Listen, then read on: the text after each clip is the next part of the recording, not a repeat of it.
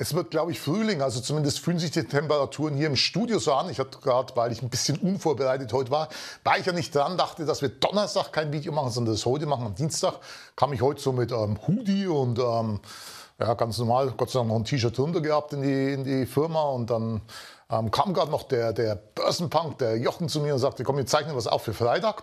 Ähm, da hatte ich das Hoodie noch an und habe ich gedacht, boah, also ich ich gehe hier ein und ähm, ja, von daher heute nur im T-Shirt. Wie gesagt, ein bisschen ungewohnt, weil eben Donnerstag bin ich nicht da. Kollegen haben gesagt, kannst am Dienstag. Klar, wir haben jetzt nur einen richtigen Handelstag gehabt zwischen den, zwischen den letzten Videos. Entsprechend wenig ist natürlich auch passiert. Ähm, Gold hat sich ein bisschen bewegt, ähm, bewegt sich auch gerade noch ein bisschen in die falsche Richtung, meiner Meinung nach. Ähm, knickt gerade so ein bisschen ein. Es ist die Frage, ist das hier irgendwie so ein Boden? Wir sind ja hier in diesen, in diesen etwas breiteren ja, Unterstützungsbereich zurückgefallen, wo man sagen kann, ja, wir hätten eigentlich das Minimum erreicht.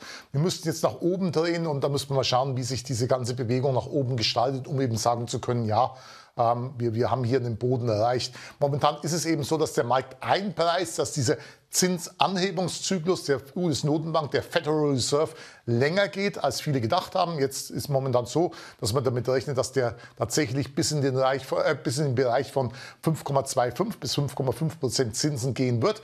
Und das ist so das Ganze, was so ein bisschen auf den Goldpreis lastet. Aber auch da sage ich Ihnen, äh, er wird zu Ende gehen in diesem Jahr und ähm, ob es jetzt wirklich ein Viertelprozentpunkt mehr oder weniger ist, am Ende wird es nichts ausmachen, aber man hat natürlich nach einer 300 Dollar Rallye, und es waren ja über 300 Dollar gewesen, die wir im Top zugelegt haben, hat man so ein bisschen nach einem Grund gesucht, weshalb der Goldpreis korrigieren könnte. Man hat ihn jetzt gefunden. Ähm, jetzt ist diese Korrektur im Gange und wie gesagt, meines Erachtens sind wir schon relativ gut in den Bereich zurückgefallen. Wenn es denn wirklich hier nicht reichen sollte, dann wird man hier wahrscheinlich so eine Bewegung sehen und würden hier nochmal in den Bereich ja, 1780 bis 1750 fallen. Aber ich glaube nach wie vor und habe eigentlich wenig Zweifel daran, dass wir im Laufe des Jahres noch wesentlich höhere Goldkurse sehen würden. Und ähm, deshalb glaube ich, dass es eine ganz, ganz gute Gelegenheit ist, so peu à peu Positionen in diesen nächsten Tagen, vielleicht ein, zwei Wochen auszubauen.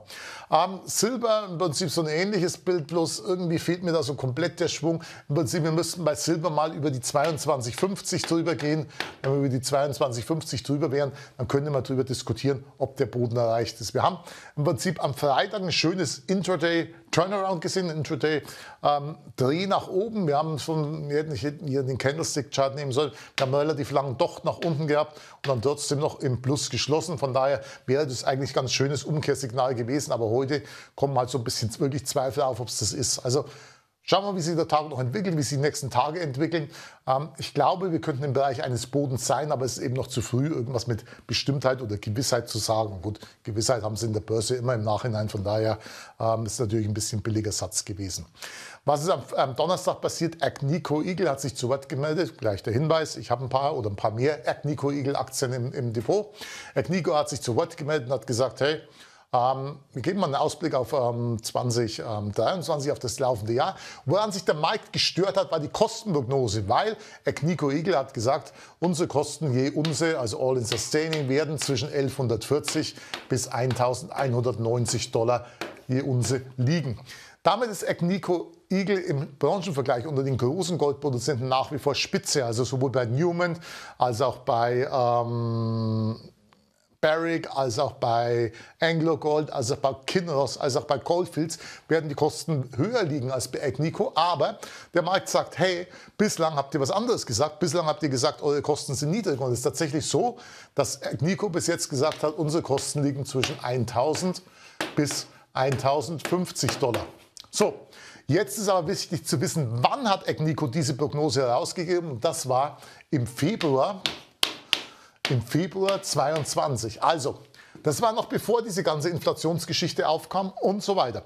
Das heißt also, der Markt ist bis jetzt davon ausgegangen, dass die Inflation an Agnico komplett spurlos vorbeigegangen ist und dass diese Kostenprognose noch gilt.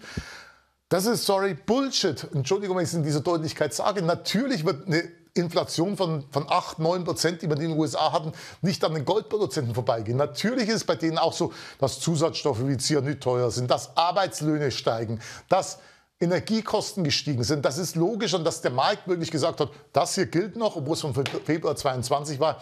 Ähm, unrealistisch. Dann wundert mich, könnte man natürlich sagen, hey, die hätten den Markt auch mal updaten müssen. Das war damals ein Drei-Jahres-Ausblick, den man gegeben hat. Den können sie nicht jedes Monat updaten. Da sind sie ja mit nichts anderem mehr beschäftigt. Also von daher, ja, die Kosten sind etwas höher, als auch ich gedacht habe. Aber das hier war komplett unrealistisch zu diesem Zeitpunkt. Und trotzdem hat der Markt zwischenzeitlich fast 10% auf die Agnico-Aktie abgeschlagen.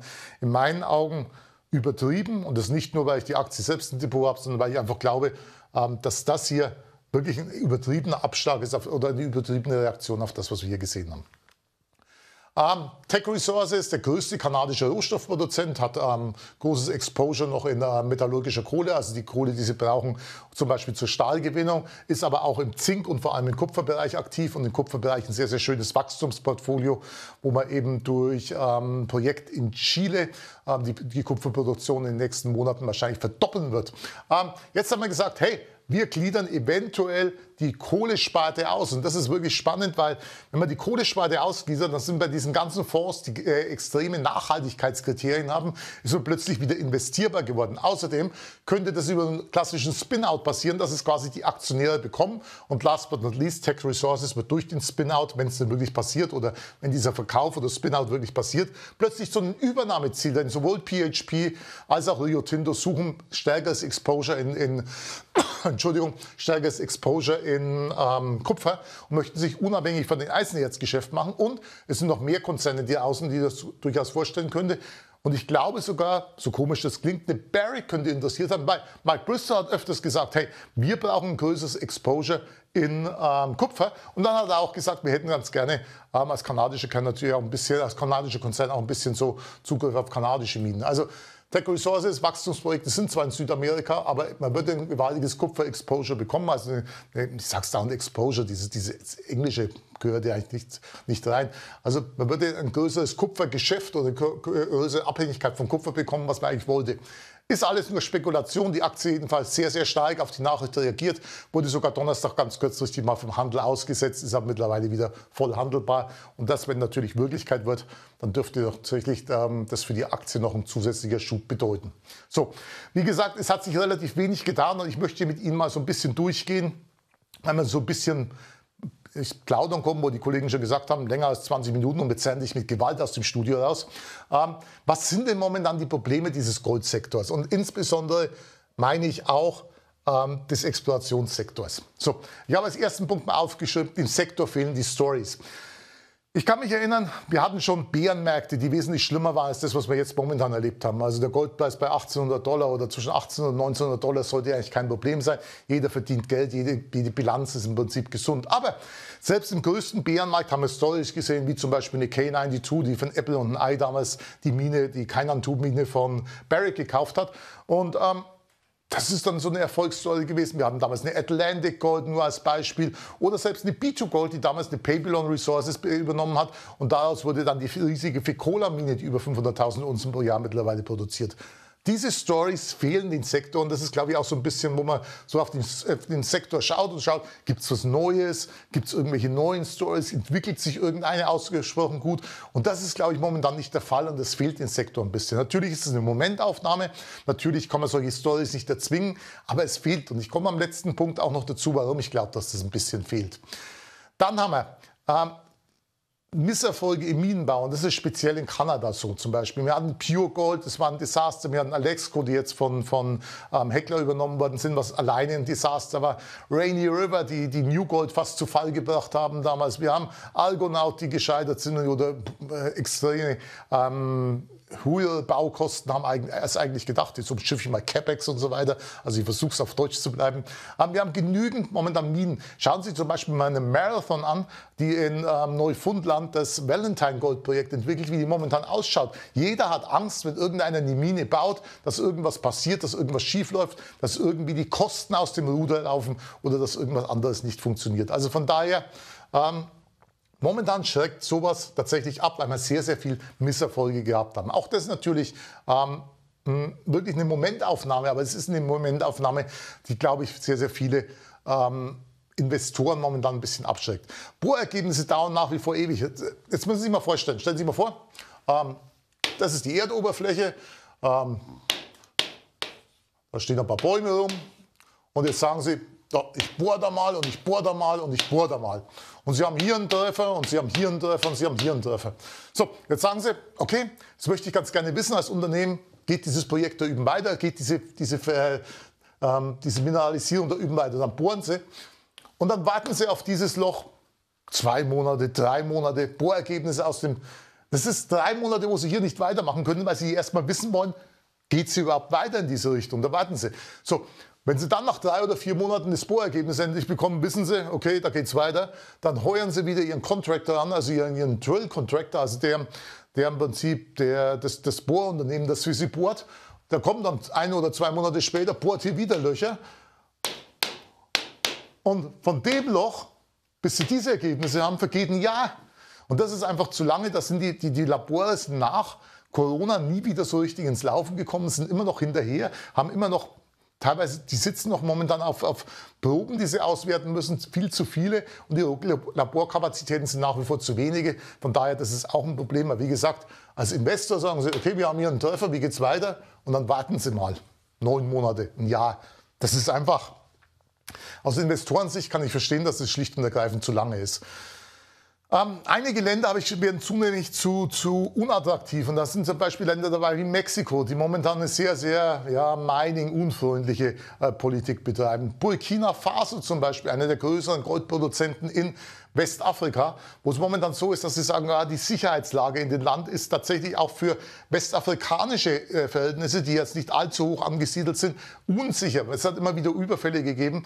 Und das ist alles so wo Sie auch als Investor sagen, ja, möchte ich da wieder, wo Genehmigungen verzögert werden, zum Beispiel in Mexiko oder hinterfragt werden. Fragen Sie mal bei Fortuna Silver nach, die können dann ein Lied davon singen. Oder Burkina Faso, wo es eben Überfälle gegeben hat. Da kann zum Beispiel Semafo, der Rechtsvorgänger von Endeavor Mining, äh, Lied davon singen. Also das ist auch so ein Problem, wo Sie sagen, okay, da möchte ich momentan nicht investiert sein. Natürlich kann man in Burkina Faso irgendwann diese Probleme in den Griff bekommen.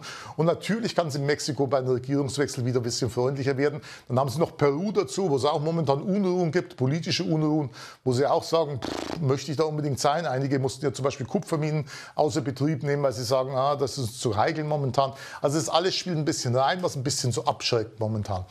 Und last but not least, ich glaube zumindest, dass es ist, das Vorletzte, es fließt momentan relativ viel Geld in andere Sektoren, zum Beispiel in den Lithiumsektor, wo die Bewertungen, es tut mir leid, wenn ich das auch mal deutlich aussprechen muss, momentan relativ aufgeblasen sind, während sie im Goldsektor, ähm, ja, wo sie, wo sie wirklich Produzenten im Goldsektor, teilweise für in der Größe von einer B2 Gold, die eine Million Unzen produzieren, äh, zu dem Preis bekommen, wo sie in, im Lithiumsektor ein Explorationsprojekt bekommen. Und das ist halt einfach so ein Ungleichgewicht. Ja? Und das zeigt aber auch eben, welches Potenzial denn dieser Sektor wirklich hätte, wenn mal wirklich wieder Geld reinfließt. Wenn nämlich Geld reinfließt, dann, dann sehen die Leute erstmal, wie günstig dass die Bewertungen nach wie vor sind. Ich habe vor kurzem gesehen, Irgendjemand hat gesagt, na, das ist jetzt alles wieder fair bewertet. Hey, hallo, vergleicht das mal zu anderen Sektoren und sagt mal, was ist da fair bewertet, wenn ich ein 1 Million Unsen Projekt oder 1 Million Unsen Produzenten bekomme, was woanders vielleicht ein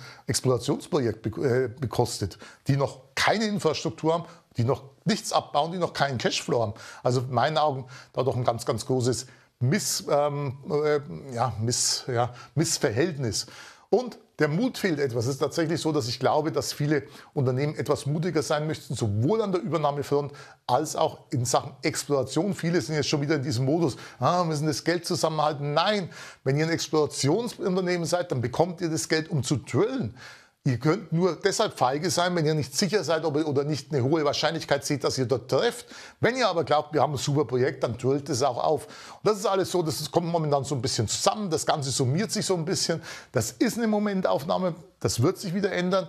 Nur einfach, das sind so diese Probleme, die in den Sektor momentan vorherrschen und wo ich glaube, dass sich einiges tun muss. Zum einen muss wieder ein bisschen Geld reinfließen. Die Unternehmen müssen wieder ein bisschen mutiger werden. Die Abläufe in den Laboren müssen sich normalisieren.